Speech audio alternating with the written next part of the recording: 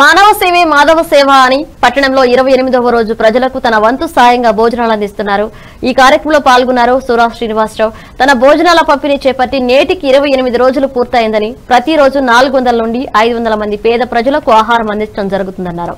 దేవుడు తనకి ఇచ్చిన దానిలో కొంత సమాజానికి ఇవ్వడం ఆనందంగా ఉందని సురా శ్రీనివాసరావు అన్నారు. నేడు ఆయన నగరంలో కిమ్స్ రిమ్స్ ఆసుపత్రుల వద్ద కరోనా పేషెంట్ల సహాయకులకి సిబ్బందికి సూర్యమహాల్ జంక్షన్ వద్ద సామాన్య ప్రజలకు నాలుగు ఆహార పొట్లాలను అందించారు.